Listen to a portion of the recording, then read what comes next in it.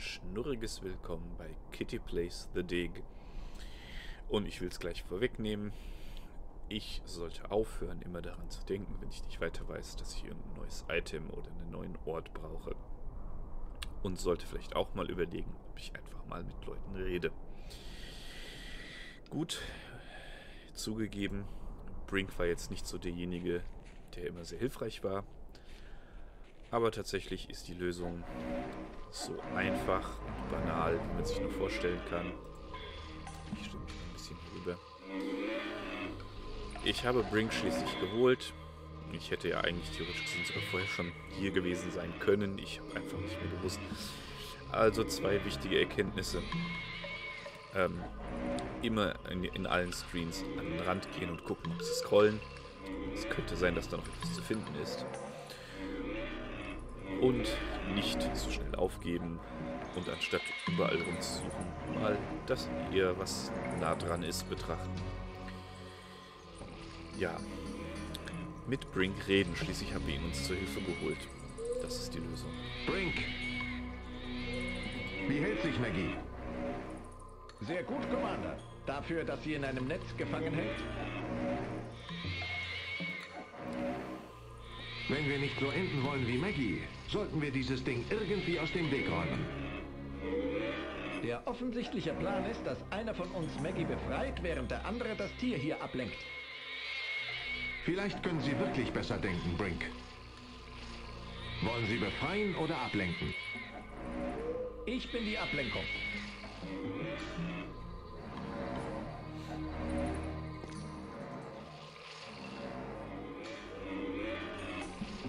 Her, du eitergepanzerter, schleimgesichtiger, exkrethirniger, beinbepelzter Entführer hochintelligenter und doch wohlgestalter Erdenfrauen. Das ist jetzt die Frage, wie viel davon ist seinem Intellekt no, geschuldet? Idiot! Warum stehen Sie da untätig herum? Ich versuche zu verstehen, was Sie gerade gesagt haben. Bewegen Sie Ihren verdammten Hintern, Sie Schwachkopf! Wie viel davon seinem Intellekt geschuldet ist und wie viel davon, dass er die Kristalle genommen Wo gehen Sie hin? Ich bin hier. Verlassen Sie mich nicht. So, und hier ist ein neuer Bildschirm. Da können wir hier zum Strand gehen und hier zur Quelle. Dann gehen wir doch mal zum Strand.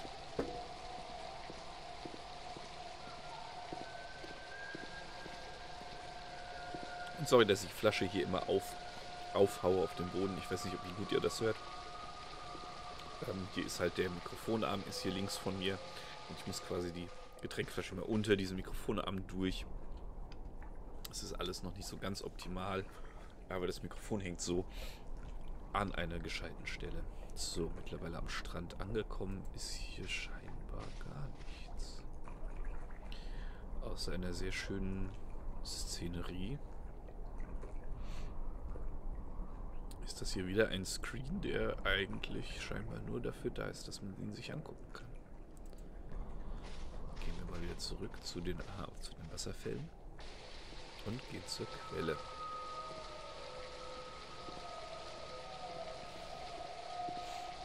Dafür muss Boston Low ziemlich weit laufen. Übrigens, der Grund, warum ich Boston Low sage, ist es am einfachsten, so kann ich mir den Namen am einfachsten merken irgendwie.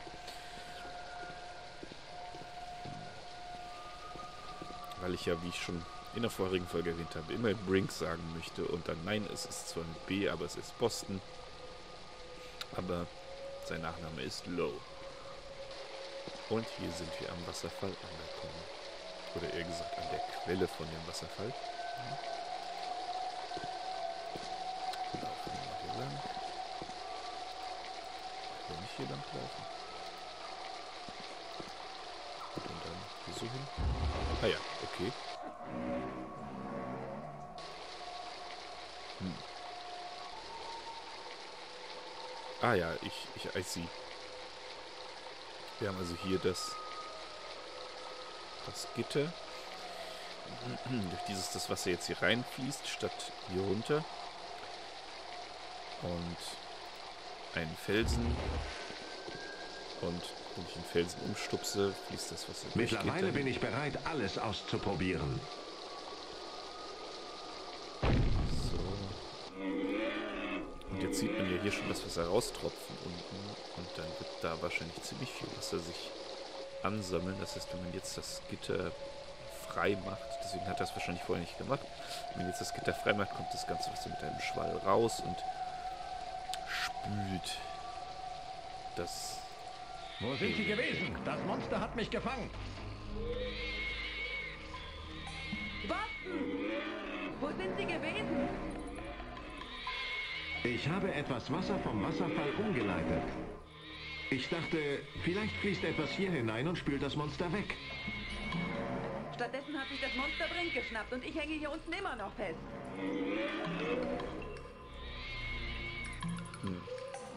Wahrscheinlich funktioniert es aber ich versuche trotzdem nochmal hier äh, Schaufel und Gitter zu verbinden. Ich kann diese beiden Sachen nicht zusammen... Ich glaube, das Wasser vom Wasserfall fließt direkt zum Gitter. Fragen wir mal Maggie, ob die da dran kommt. Robbins. Was ist das da unten bei Ihnen, Maggie? Es sieht wie ein verstopftes Gitter aus. Es ist ein verstopftes Gitter. Was Da sind wir jetzt schon mal sicher. Ich glaube, das Wasser vom Wasserfall fließt direkt zum Gitter. Dahinter sollte jetzt eine Menge Druck sein. Sagte ich ja. Ich denke dran, wenn ich mal ein Bad brauche. Okay. Brink scheint sehr motiviert, Ihnen zu helfen, jetzt wo ich seine Kristalle habe. Das war gar keine schlechte Idee. Was werden Sie jetzt tun, Superhirn? Ich muss einen Weg finden, um Ihren sechsbeinigen Freund hier zu beseitigen, Maggie. Versuchen Sie nur das zu tun, bevor er beabsichtigt, mich zu beseitigen. Ach, Moment, dann ist er doch mit Brink beschäftigt. Okay. Danke. Robbins, Nein, ich wollte sie Schon in Ordnung. Natürlich mit dem Kiefer hier. das Netz ist dafür viel zu stabil.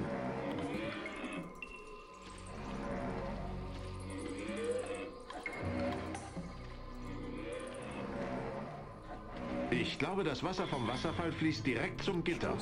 Ich kann diese beiden Sachen nicht zusammen verwenden. Ich suche also jetzt irgendwas, mit dem ich das Gitter... Das bringt kann. nichts. Nein, ich will noch nicht rausgehen. Ich will einfach nur hier rüber. Wo hat denn das Monster hier Brink? Das... Brink. Da unten bei Maggie ist ein Gitter. Wenn Sie das Monster dahin locken können und Maggie das Gitter öffnet, dann wird das Monster vom Wasser wie von einem Feuerlöscher getroffen. Das ist wirklich Ihr Plan? Haben Sie einen besseren? Maggie! Können Sie das Gitter abziehen? Hat irgendjemand schon mal darüber nachgedacht, dass ich auch noch hier bin, wenn das Wasser wie aus einem Feuerlöscher herausgeschossen kommt? Ach. Das, Das ist ein gutes Argument, Maggie. Halten Sie sich fest. Wie soll ich mich festhalten, wenn ich ein Gitter öffne? Dafür bekommen Sie schließlich eine Menge Kohle. Dann tun Sie es. Tun Sie es einfach. Es ist ja sowieso nur mein Leben.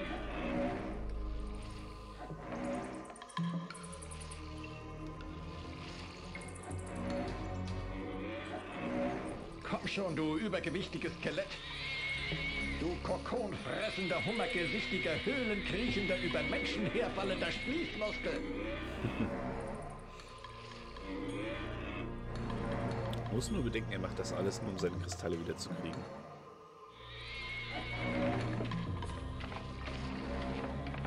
Am Ende sind für ihn die Kristalle alles, was zählt.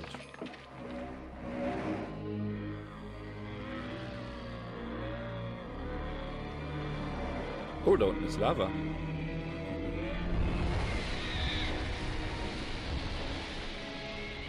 War mir nicht klar.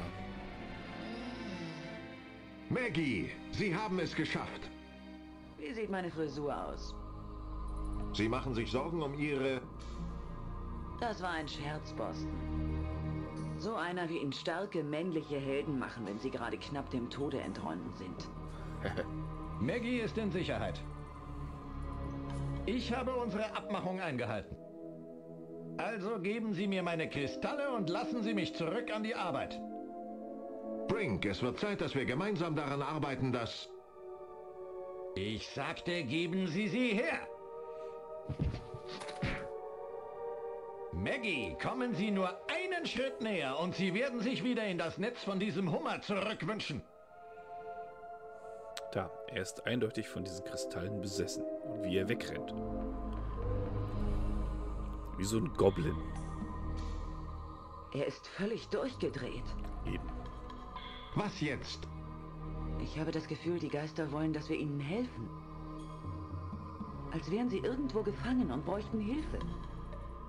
Wie gefangen? Also, die Konsolen in der Bibliothek haben angedeutet, dass sie diese Welt irgendwie verlassen haben. Was, wenn sie zurückkommen wollen, aber es nicht können? Ich weiß nicht. Wie sollten wir ihnen helfen? Vorausgesetzt, sie wollen es. Und würden uns nicht fressen, wenn sie zurückkommen. Keine Ahnung. Ich interpretiere nur. Gut, jetzt haben wir Maggie dabei. Vielleicht kann sie mittlerweile die Platte ähm, identifizieren. Aber was ich eigentlich vorhabe, ist sie zu fragen, ob sie die Sprache von dem Alien übersetzen kann und wir dann mit dem Alien sprechen Jetzt, können. wo Sie die Inschriften in der Bibliothek lesen können, ergibt das irgendeinen Sinn für Sie? Ich rutsch mal näher ran. Bisher dachte ich, das sei nicht einmal dieselbe Sprache. Aber jetzt sehe ich die Verbindung zwischen dieser Inschrift und dem, was ich in der Bibliothek gelesen habe. Was bedeutet es? Es geht um ein wichtiges äh, Ding. Ich weiß auch nicht, äh, das versteckt wurde. Irgendwelche Hinweise? Wo? Auf der anderen Seite des Loches. So, dass nichts eintreten kann. Dann erklärt es, wie man den äh, Teil des Eingangs zurückholen kann. Was auch immer das bedeutet. Okay. Es ist ziemlich vage. Es gibt eben Dinge, die man nicht versteht. Ein Ding auf Ja, der anderen Seite aber des mit dem Loches. hier hat sogar Frau Probleme. Ha, schlagfertig. Ein Ding auf der anderen Seite des Loches. Das wird immer verwirrender. Nun gut, wir haben Maggie befreit. Wir werden jetzt mit ihr einfach mal zu dem Alien gehen und schauen, ob sie uns sagen kann, was das Alien so erzählt. Da ich jetzt nicht mehr genau wusste, wo die äh, Lichtbrücke ist, machen wir es einfach mal so. Und gehen hier direkt, das ist das Museum, gehen direkt hier in die Gruftbahn.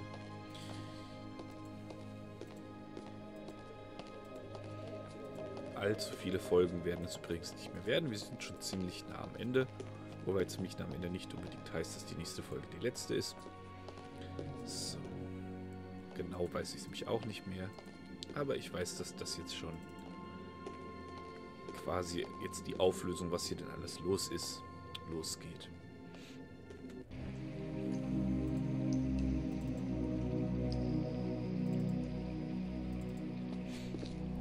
So, ab in die Gruft. Und auf das Podest. Und diesmal sind noch beide runtergefahren. Und es geht nach links. Irgendwie habe ich immer das Gefühl, es geht da rechts raus.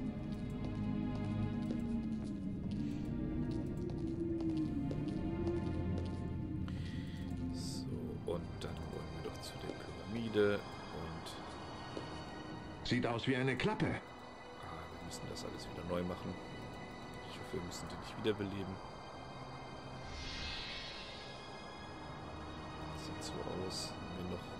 Natürlich haben wir auch keine Kristalle mehr.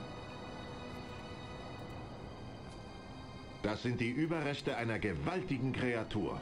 Er ist also gleich wieder gestorben und zu Knochen geworden, als wir aufgehört haben zu reden. Wir brauchen mehr Kristalle. Zum Glück gibt es da diesen einen Raum, in dem die ganzen Kristalle liegen. Also einmal zurück zur Museumsbahn oder beziehungsweise über die Lichtbrücke zum Museum.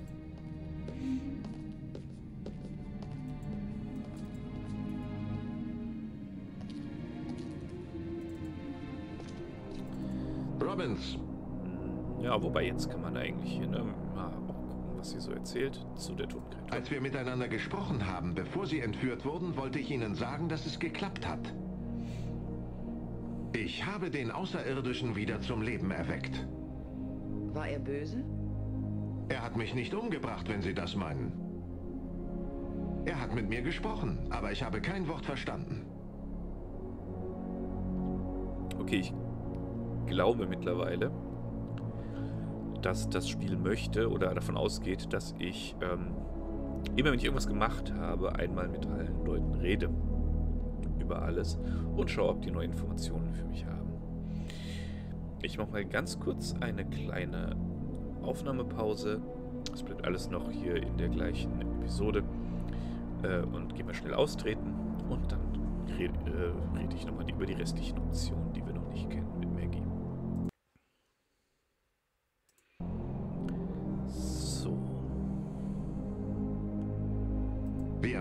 einen Weg finden, mit dem Außerirdischen zu kommunizieren. Ich weiß, Boston. Er ist der Einzige, der unsere Fragen beantworten kann. Er ist auch der Einzige, der weiß, wie wir nach Hause kommen. Das weißt du nicht, ob er es weiß. Ich hätte im Kartenraum niemals etwas herausgefunden, wenn nicht überall diese gravierten Schlüssel herumgelegen hätten. Als hätte man sie für uns dagelassen. Nur intelligente Wesen hätten herauskriegen können, wie man sie benutzt. Maggie, das ist das Netteste, was Sie mir jemals gesagt haben. Ich meinte Wesen mit einem Intelligenzquotienten über dem eines, naja, sagen wir Pavians. Oh, jetzt machen Sie mich wirklich verlegen. Jetzt, wo Sie die Inschriften in der Bibliothek lesen können, ergibt das Okay. irgendeinen Sinn für Sie? Das hatte Bisher ich dachte letztes ich, Mal. nicht einmal Ähm, dieselbe Sprache. Aber jetzt sehe ich die Verbindung zwischen kann dieser das tatsächlich Inschrift und dem, was ich in der Bibliothek gelesen habe. Was bedeutet es? Es geht um ein wichtiges äh, Ding. Ich weiß auch nicht, äh, das versteckt wurde. Irgendwelche Hinweise? Wo? Auf der anderen Seite des Loches. So, dass nichts eintreten kann. Dann erklärt es, wie man den äh, Teil des Eingangs zurückholen kann. Was auch immer das bedeutet. Es ist ziemlich vage. Es gibt eben Dinge, die man nicht versteht.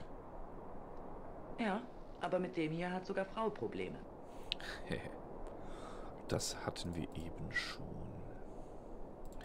Gut, vielleicht kann sie uns noch was über das Monster im Nachhinein sagen. Können Sie sich vorstellen, womit Sie dieses Ding vielleicht angelockt haben könnten? Ich benutze kein Parfum und dieser Anzug ist weiß Gott nicht besonders betörend. Ich habe nur da gesessen. Offensichtlich war das schon genug. Für einsame Männer auf der Erde ist es normalerweise genug. Was dieses Monster betrifft, ich würde in Zukunft lieber auf solche Rendezvous verzichten. Ich glaube, auf die einsamen Männer auf der Erde würdest du auch lieber Danke. verzichten. So, dann wollen wir doch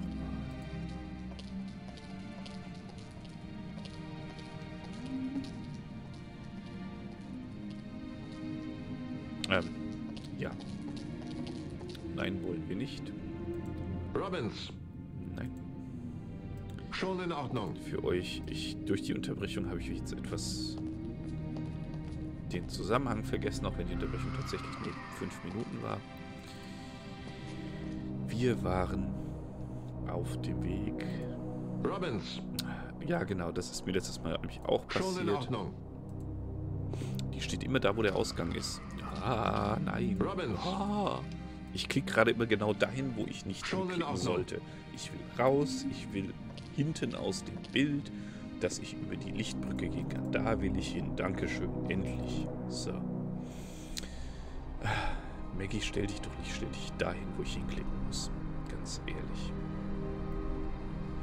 So, und jetzt möchte ich nämlich zu der Museumsinsel. Da ist nämlich der Raum mit den Kristallen.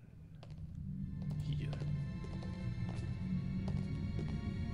Vielleicht sollte ich noch einen Kristall nehmen.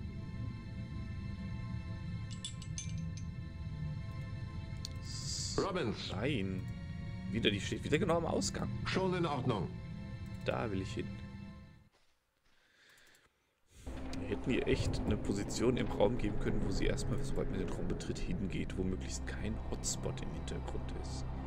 Das ist tatsächlich sehr nervig. Da steht es wieder hier, genau da, wo ich lang muss. Jetzt muss ich also hier erstmal hin, hoffen, dass sie irgendwann ja, oder, oder den, den Rest des Hotspots finden. Jetzt aber Podest, die Animation überspringen. Und jetzt können wir nach links raus. Jetzt können wir nämlich unseren Freund oder hoffentlich Freund, ich meine, der könnte ja genauso gut sagen, hey, ähm, das und das ist das Rezept, mit dem ihr am besten schmeckt. Jetzt können wir mit ihm reden. Interessanterweise ist das jetzt so geblieben, obwohl nachdem er geredet hat, dass ähm, Pyramide wieder gekommen ist. Und da wird er wieder wiederbelebt. Interessanterweise öffnet er auch das Auge ein Stückchen früher und ähm, besteht nicht nur aus Knochen. Entweder zahlt sich jetzt meine außerirdische Bildung aus, oder wir sterben. Sterben? Solange ich ihn nicht aus Versehen angreife, wird alles in Ordnung gehen. Aklash Park. Er sagt, öffnet den Mund, was bei Ihnen so viel bedeutet wie sprich. Sie reden, Maggie. Dann können Sie sich gegenseitig verstehen. Sprich. Und jetzt übersetzt Maggie für uns in der Stimme des Außerirdischen. Finde ich sehr schön gelöst. Ich habe natürlich genau die gleichen Gesprächsoptionen wie sonst auch. Und werde auch tatsächlich mit den unwichtigsten anfangen. Warum war dieses Grab so sorgfältig versteckt? Damit nur die beharrlichsten und klügsten und damit die gefährlichsten Besucher es finden würden. Wir wollen nach Hause gehen. Das ist der Wunsch aller lebenden Kreaturen. Es ist ein sinnloser Wunsch, weil es kein Zuhause gibt. Jede Intelligenz muss fortschreiten ohne Rast. Auf den Inseln ist sehr viel Wasser. Überall Seen, Flüsse und das Meer drumherum. Wir lieben das Wasser. Aber nun lebt mein Volk in einer ewigen Wüste, weder trinkend noch dürstend. Wenn sie doch nur wieder dürsten und danach trinken könnten. Wenn sie doch nur wieder ins Meer tauchen und das Dröhnen des Wasserfalls hören könnten. Hm. Das ist komisch. In einer ewigen Wüste weder dürstend noch trinkend. Diese Geschöpfe, die hier leben, wusste Ihr Volk von ihnen oder kamen sie später? Seit damals sind Millionen von Jahren vergangen. Was einst Haustiere und Freunde waren, sie folgten den eigenen Pfaden der Evolution. Sie wurden so schön oder so schrecklich, so klug oder so dumm, wie es in ihnen war. Das Monster, das mich gefangen hat. Gibt es davon noch mehr? Dieses eine hat sich nicht entwickelt. Es wurde geschaffen. Und es existieren so viele, wie nötig sind. Nötig. Wofür? Kann man natürlich jetzt nicht fragen. Gut, fragen wir nach ihm selbst. Wer sind Sie, Ehrwürdiger? Der Bringer des Unglücks. Oh. Ähm. Sollten wir dann vielleicht nicht mit ihm reden? Ich frage trotzdem mal weiter. Bitte sagen Sie mir, wer Sie sind. Ich bin der Vollbringer, der nichts vollbringt. Der Schöpfer, der vernichtet. Und doch wäre ich gern der Zerstörer, der alles bewahrt. Der Gefährliche, der schützt. Okay, er spricht ein wenig in Rätseln. Sprechen Sie nicht in Rätseln. Das sagt sie auch. Sagen Sie uns, wer Sie sind. Einst wurde ich der größte Denker geheißen, den mein Volk jemals hervorgebracht hat. Ich versuchte Stärke und Glück über mein Volk zu bringen. Ich gab ihm die Kraft, diese Welt zu verlassen, den Körper zu verlassen, eine Existenz als reiner Geist zu führen, unendlich perfekt. Aber ich konnte ihm nicht die Kraft geben, zurückzukehren, den eigenen Körper wieder anzunehmen, die eigene verfallende Welt. Sie sind verloren und können nicht wiederkehren. Okay, das ist traurig. Haben Sie einen Namen? Ich hatte einen Namen, als ich lebte. Jetzt bin ich wieder und wieder tot. Wozu brauche ich Namen? Mein Körper ist nun schon so alt, dass die Kristalle kaum mehr Macht über mich haben. Ich erstehe für einige Minuten und dann falle ich wieder. Bald wird die Wirkung völlig erloschen sein. Erst dann wird mein Gram beendet sein. Ich will keinen Namen und keine Erinnerung, die mich überleben. Ziemlich depressiv irgendwie. Also die Geschichte mit denen erst dann wird mein Gram vollendet sein. Die Karte hat uns geholfen, sie zu finden. Haben Sie sie gemacht? Sie wurde gemacht von jenen, die jetzt nur noch wünschen, sich selbst zu finden. Warum ist diese Inschrift in einer anderen Schrift? Ich habe es nicht geschrieben. Ich hätte es nicht geschrieben. Ich kann es lesen, aber die Bedeutung ist nicht klar. Es geht um irgendetwas Verstecktes. Das war die erste Errungenschaft auf dem Weg zu meinem größten Fehler, der mein Volk verurteilt hat.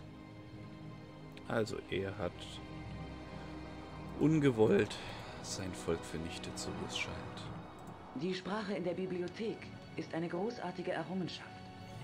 Sie ist so eindeutig und einfach zu lernen. Je größer die Idee, desto einfacher und eindeutiger ist die Sprache, um sie auszudrücken. Haben Sie die Lebenskristalle erfunden? Die Toten lebendig zu machen, ist die größte Errungenschaft, die wir je gesehen haben. Was die Toten auferstehen lässt, kann die Lebenden erniedrigen. Das haben wir bei Brink gesehen. Haben die Kristalle Nebenwirkungen?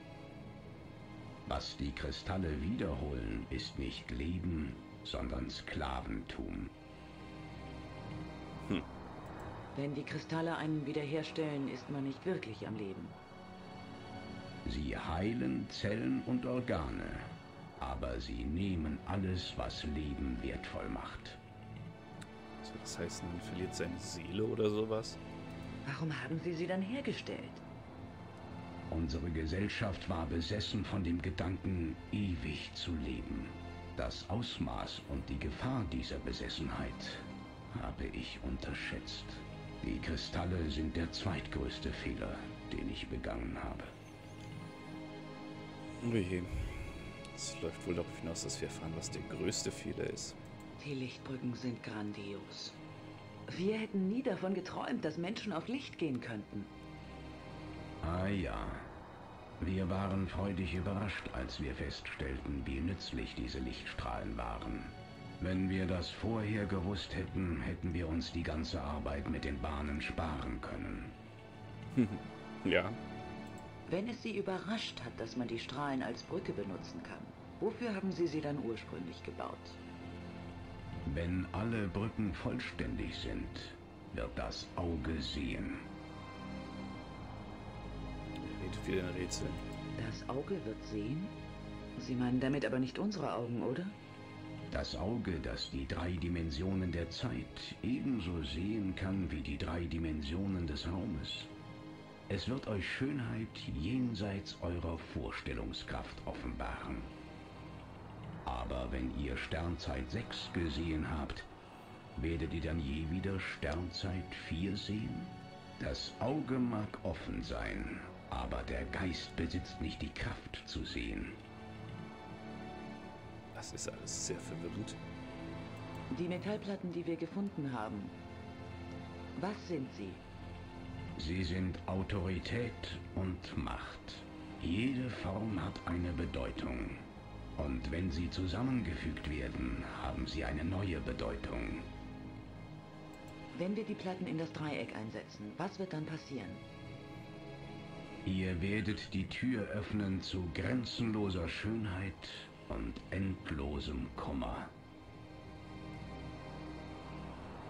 Was sind das für Geister, die wir gesehen haben? Sind sie lebendig? Mein ganzes Volk ist in das Reich der Sternzeit 6 gereist, wo die drei Dimensionen der Zeit sich vereinen mit den drei Dimensionen des Raumes. Es ist unbeschreiblich schön, aber sie können dort nichts bauen, sie können nichts erschaffen. Sie existieren nur, immer und immer weiter mit leeren Lieben und Herzen, die sich nach dieser harten und steinigen Welt sehnen. Dann sind die Geister ihr Volk? So dünn ist die Verbindung zu dieser Welt. Sie können die Energie in der Luft stören. Sie können sichtbar werden für einige Sekunden. Aber sie können hier nichts erschaffen. Sie werden ewig existieren. Aber es ist kein Leben. Ist es für ihr Volk unmöglich, wieder zurückzukommen? Es bedarf enormer Willenskraft, jenen Platz zu verlassen und zu diesem zurückzukehren. Alle haben es versucht. Alle haben versagt. Und nun sind sie schon viel zu lange weg. Sie haben die physische Erinnerung an ein Leben in der Sternzeit 4 verloren. Wow. Warum haben uns die Geister zu ihnen geführt? Einige von ihnen haben die törichte Hoffnung, dass ihr die Kraft besitzt, sie zurückzuführen, damit sie wieder in ihre Körper eintreten können, wenn ich euch nur helfe, die Pforte erneut zu öffnen. Aber ich bin sicher, ihr würdet euch auch in der Sternzeit 6 verlieren. Das war alles, was er uns sagen kann. Also, sein ganzes Volk ist... Ich beende erstmal das Gespräch. Danke für Ihre Hilfe. Ich will euch nur geholfen haben, wenn ihr euren sinnlosen Plan aufgebt. Wir geben nicht auf. Mein einziger Trost ist, dass der wahre Tod mit jedem Sterben ein wenig näher kommt.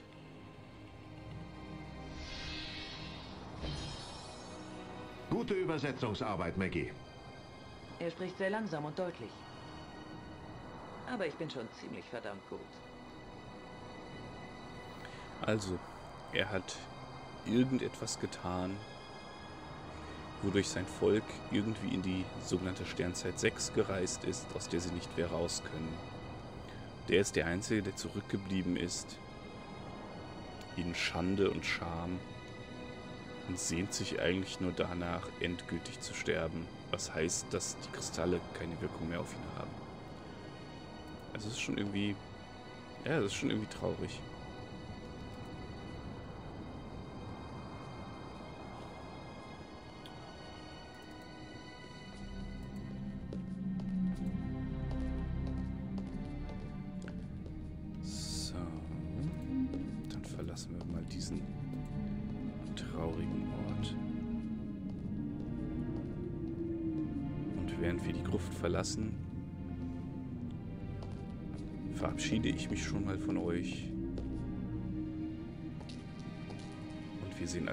Als nächstes den Würfel, denn die Folge ist hier zu Ende. Also ein immer noch von der jetzigen Erkenntnis trauriges Ciao Miau.